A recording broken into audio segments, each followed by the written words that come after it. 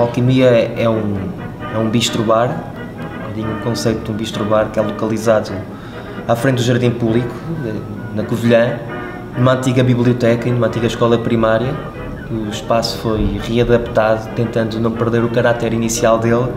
Pretende ser não só um, um restaurante, como um bar e como um ponto de encontro entre a tradição e a inovação.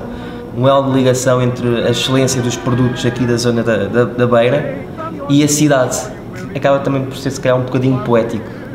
Duas pessoas novas deixarem o que faziam antes para virem para o meio da serra, trabalhar com produtos com os quais não cresceram e ou seja, mostra o interesse e o potencial que estes produtos têm.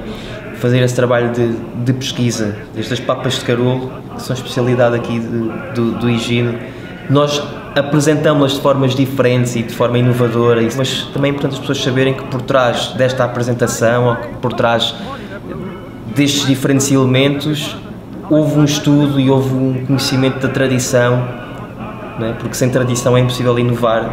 Por cima foi queimado, caramelizamos. Uh, leva também aqui umas, uns gomozinhos de, de laranja. Leva um crumble. Leva também um gelado de laranja especiarias. Doce compota caseira de mirtilo. E petazetas. Petazetas. Petazetas não são feitas por nós. É a única. as laranjas também não foram, não cresceram aqui, mas são locais. Mas as petazetas é a única coisa de facto aqui que, que é comprado, que é comprado assim. Tudo o resto é feito com amor e carinho e, e com dedicação. E com dedicação.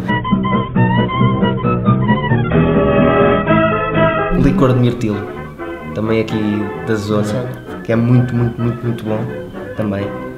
Vai buscar também as notas do, do, da compota de mirtilo que nós temos.